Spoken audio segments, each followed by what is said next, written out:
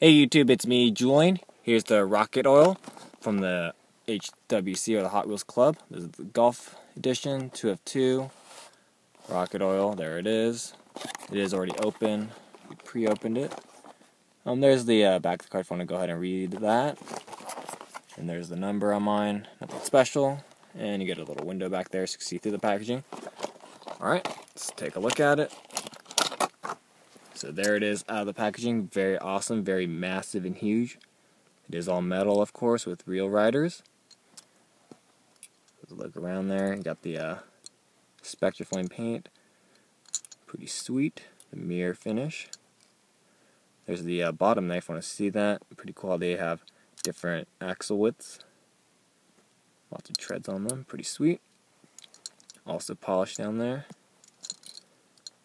There's the front, nice details, especially with the lights up there. Got details on the back. And the cool thing about this casting is that it does open up. As you can see, and it does stay open. So you can see the front there, pretty sweet. It even comes with a uh, little gas pump. Just a little piece of rubber.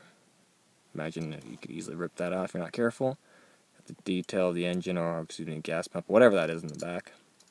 Pretty cool. Let's close that back up. Nice and easy. So this thing is huge or massive. As a comparison, I do have the uh, 67 Camaro. See how big it is. Top of that's even bigger than the uh, drag bus here. Drag bus has or beats it in height, but as far as length goes, the Oil Rocket beats it by a long shot. Yeah, so this thing's massive. I think the uh, drag bus is heavier. But this thing is massive nonetheless. Very awesome. Glad I was able to pick one up.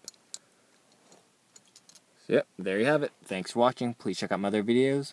Bye-bye.